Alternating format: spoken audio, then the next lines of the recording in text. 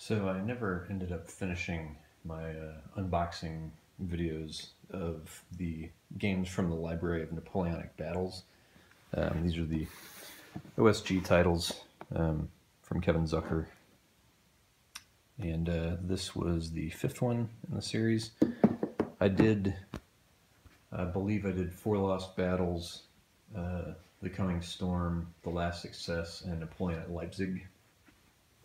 Um, I never did uh, La Patrie en Danger um, because it, it, was already punched, or I'd already punched it out and was playing it at the time that I started doing these videos and acquired most of these other games. Um, since then, I've picked up um, additionally, let's see, were there all the titles there. Um, I've picked up uh, Napoleon's Last Gamble, which is the Waterloo campaign. And then I also have a copy of Napoleon at Bay, which was the original um, first title uh, in this kind of operational level Napoleonic series. So um, I will also take a look at Napoleon's Last Gamble and just recently what just came out and what kind of inspired me to pick these videos up again um, was uh, the Napoleon's Quagmire, which is a number of battles from the, the Spanish campaign. So uh, eventually, I will get a copy of that. I don't have it yet. It did just come out, um, I think, just a matter of weeks ago. So um, that will eventually be added to the collection. Um, but first, we take a look at Napoleon against Russia. So this covers the invasion of Russia, as it says. Um, need to be able to hold this so that the light is appropriate to it. Um, this has Smolensk, uh, Valutino, Shevardino, Borodino, and uh, Maloyaroslavets, I guess.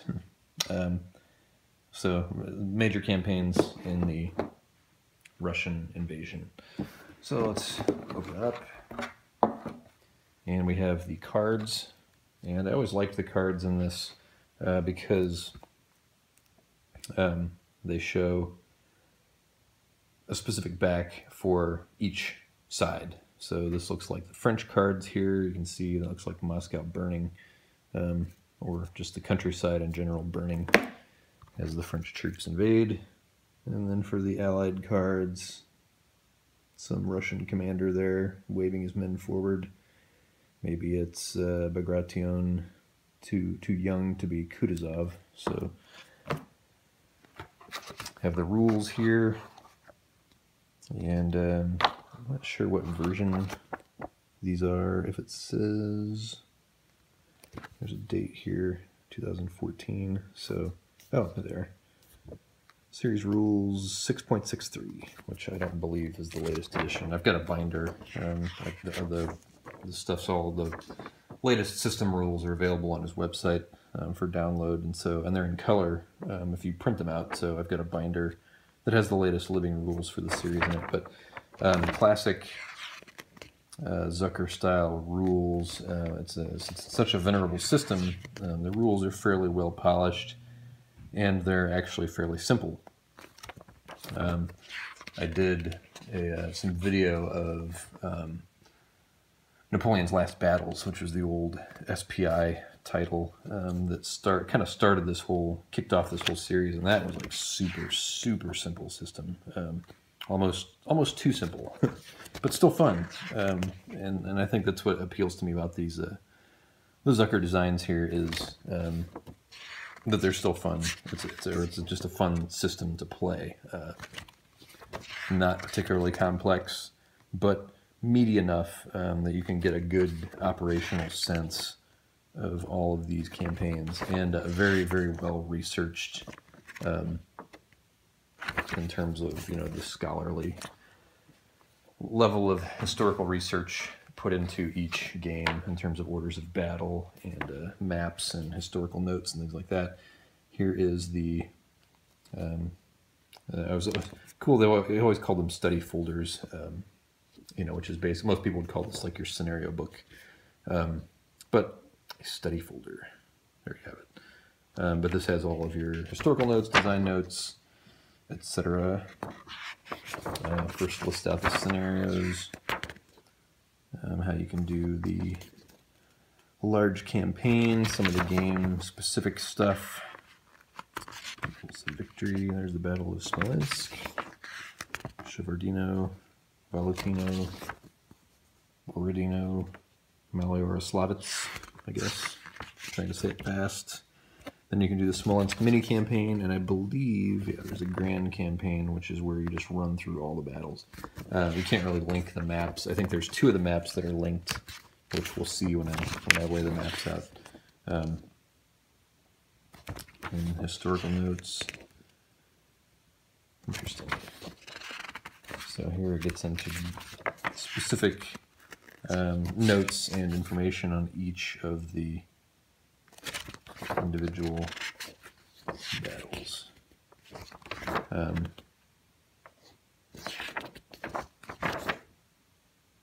cool. Actually, I, to, I, haven't read that yet, so I'll have to read combat tables in the back. I believe there's also a fold-over sheet included in here um, that has yeah combat tables. It's next up in the box after the errata sheets here is the, um, and there, there's always uh, these in the games, which is either good or bad, depending on how you good at look at it. Good in that um, at least these are included uh, to explain any issues. Bad in that these needed to be included to explain any issues. So um, usually you don't want to have pre-printed professional errata pack packaged right in the box, but um, and it's, it's not so much errata as just these the, the rules, any updates to the rules that happen in the time it goes to print, um, and the time that that uh, the rules are changed is when you end up with stuff like this. Um, unfortunately, every one of these games has a sheet like this in it, so I don't know what that says. And then here's the player charts. Only one copy of these. Um, I've taken to printing off extras from the website um, just to have, when I play this opposed, um, just to have two, two sets of it. Um, yeah, these are the, the, specific terrain effects charts. So, and then there's turn record tracks uh, for each title, or each battle, rather. So here's the one for Smolensk, and it's got uh, your your turns here um, for, let's see, starting, yeah, so it just goes through from 6 a.m. through 8 p.m. The, the two dates up here were screwing up, but this just runs straight through from night to night over the over the uh, the two days. So we have that. those are blank on the back. Yes. Here's the one for Valutino. We're the same. It's got a little picture on it. I guess they all have little pictures on them. Shevardino. And these are on fairly typical cardstock. Um, but it's nice to have the turn record tracks each thing on cardstock. I tend to stick them under the plexi that the map is under. And uh, that always works out pretty well. Maloyaroslavets. And then there are, and that's one of the nice things about uh, the Zucker designs is they're always loaded up with lots of cardboard. Um, he puts the setup charts um, for each of the different battles on their own, or each, each different side um, on their own cardstock. So here you can see there's three of these setup cards. No, not just three, actually. No, yeah, three of the setup cards for the French. We have here French casualty record tracks. Um, there's the CRT on there. And then you've got the Russian, and they're numbered down here so you know how many there are, same thing. I won't really spend too much time looking at these because it's very fine print. That just has a lot of setup information. So four charts for the Russians, same thing here, Russian casualty tracks. Okay, there's there's the CRT, so it does have a it does have a card. I thinking it just had the sheet. That's the CRT explanation. And then you have each one of these Newer Games has this little sheet about adding the cards um, that explains how to put the cards in there has a card manifest, some advertising on the back, and then here says remove cards from deck. Not sure what this is. oh, for each of the battles, certain cards are pulled for each of the battles. And then here is for your um, tracking your casualties. And you stick this next to the board. You can actually cut this in half and uh, give one to each side. And then here, it's interesting, the victory worksheet.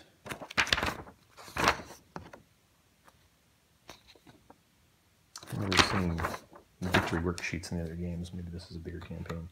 And I'm going to stop it here before we look at the counters because I am running out of time on my phone.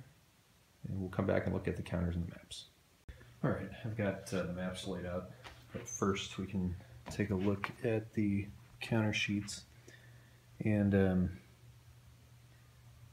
these are in typical um, OSG fashion. Um, they're actually very sharp looking counters, I think. Um, some people might find them a little bit cluttered or busy, um, but all the numbers and all the key information on it is very legible and presented very well. Um, unfortunately, without any backlighting here, the lighting's not great where I'm at. Uh, in order to get my maps lit well, this is where I had to set the camera. Otherwise, the camera itself puts shadows over the over the maps. But uh, we've got the counter sheets here. Here's all the French counters. Um, the darker ones, I believe, are the guard. Lighter ones are your normal line troops. And then it looks like we've got Polish troops down here at the bottom. Um, a number of uh, in command, out of command markers, and so forth. Uh, various allied powers to the French, like Bavarians and stuff like that. Um, as you can see on the back for Fog of War, they've all got the flags in the back. Uh, because usually when you're not moving them, you have them flipped over so that your opponent doesn't know um, what you've got. At least for the for the leaders, because the leaders are what will usually be on top. Um, and then also you can use, obviously on the back of the in command, you've got extra flag counters if you need them. Sheet number two has the Russians. And uh, Interestingly, the Russians are brown in this, as most Napoleonic games that I've seen uh, have the Russians with green counters. Um, think of something like La Bataille, the uh, La Bataille system. Um, commands and uh, commands and colors Napoleonics. You know, the Russians are green blocks. Uh, Empires in Arms, the Russians are green. So usually, because they were green coats the, in this era, but uh, for whatever reason, they're brown here. So I don't know if there's some level of um, scholarly research or something that Kevin Zucker and his researchers came across, uh, or if this would confuse with other green counters. I'm not sure in this system, you know, except for the Turks maybe, who are also typically presented as green, but there aren't any battles against the Turks that that the uh, OSG uh, Library of Napoleonic Battles has covered, so I'm not sure. But anyway, you get all the Russian troops are brown. Same thing on the back. They've got the the Russian eagle um, so there's the counters, just two counter sheets, not a high counter density in this at an operational level. Um, you know, it's going to be, the counters are going to be a little, little sparser. Think of it in terms of, uh, or as being similar scale-wise to like the Civil War Brigade series for the gamers. Anyway, the first of the maps here, this is one that actually, the only ones in this particular uh, set that actually adjoin to each other. The others are all separate. Um, this is Smolensk here in the center, and uh, the this um, eastern map is for the Valutino, the lost rear guard. Um, and that is apparently the movement of the French out of Smolensk and further along towards Moscow. Um, Smolensk is here in the center, and you can see um, that's this is actually where the two maps join together. Um, so if you do, I guess the, the, the longer campaign um, is where you would join the two maps together and fight the entire uh, Smolensk approach and rear guard. As you can see, it's a very long, narrow map as opposed to um, something that's usually more square shaped um, when, when you would join maps. And so on this map, you could fight um, the actual Smolensk battle um, and then join the two together. Set the camera back down. Got my on my tripod here, so when I pick it up using my phone, when I pick the tripod up, I can hold it a little steadier than if I were just holding the phone um, in my hand. So we'll move these out of the way. So the next map here, and I've got my Central America map set up underneath. Most of my other tables are occupied. I've got some, this was had been kind of my general workspace table, um, and then I set up Central America um, to start learning that, but my other tables are full. I've got Germantown um, from the, you can't see because of the glare on the box, but it's the battles from the Age of Reason, Brandywine and Germantown. Um, I played Brandywine, oh, early, in early 2016, so about a year ago. And, uh, but I never got to Germantown, so I'm getting that set up to take that over. And then back here, I've got uh, the third edition of High Frontier um, that just arrived uh, about a week ago. So in the process of learning that, so my table space got kind of sucked up. Um, so laying out these maps was going to be a challenge. I had to lay it over the top of my uh, Central America map, which got kind of messed up as a result. That's okay though. Um, so here we have uh, Shevardino, Borodino. Okay, so there's Borodino there. Um, at this scale, you can see Borodino. And where is, there it is, Utitsi or Utitsa. So if you think of like your La Bataille map, tactical level map of Borodino, usually you had, it covers, you know, from here all the way to here, which is the French right flank. And so the Russian army is kind of arrayed like this across this space. And so the French will come through here. Um, probably more like right through there. Um, so as you can see when this is zoomed out, you're at a much wider scale. So you do a lot of maneuver so the Battle of Borodino, as it were, may never even be fought anywhere near Borodino. So that's the just the level that these maps are at. But they are very, um, I'm very fond of the the uh, OSG Library of Napoleonic Battles maps. Um, they have this uh, very kind of warm um, and sort of antique look to them in terms of they use this kind of parchment paper color background, um, sort of off-white. And then, you know, the artwork's very clean and very clear. Um, and then, you know, for the, the uh, title there, you know, what the what battle it is that you're looking at has with the little stamp and everything has this very antiqued uh, look to it. So you feel like you're looking at some old battle maps or something. So uh, it just, it's a nice little immersion feature that the game has. Um, that I particularly enjoy uh, when playing these games. So I'm looking forward to this one. Um, I've kind of been interested in the Russian campaign of late and uh, might put this on the table and uh, work through a couple of these scenarios. Um, I've got a strategic Napoleonics game uh, going at my War Game Club right now, and uh, that's Nations in Arms, the uh, Compass Games publication, which has been uh, pretty fun. We just got started with it. We're about one turn in, and uh, so far it's it's been pretty entertaining um, putting those rules together. So anyway, enough rambling. Um, that was a look at Napoleon against Russia from the Library of Napoleonic Battles.